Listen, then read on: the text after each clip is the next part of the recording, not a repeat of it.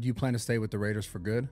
I want to. Yeah. You know, I want to retire a Raider. There's no question about that. Yeah. I love being a Raider. You know what I mean? I feel like it's who I was born to be on. I feel like it fits exactly who I am. Yeah. Um, Mark and the whole, you know, front office guys, like, I got a ton of love for him. You know, recently he was a little, you know, upset with me about the whole deal that went down, but at the end of the day, like, that's any relationship. There's, it's not going to be perfect, smooth sailing. And Yeah. I mean, at know, the end of the day, it sounds like you just want to win. That's all that matters to me, bro. Yeah. And I want him to win. You know, Yeah. that's the thing. I'm not coming from a selfish perspective where it's like, you know, I don't give a like I'm gonna get my money regardless, whatever. Like it's not that. I want to win here, and I want him to win and have success. And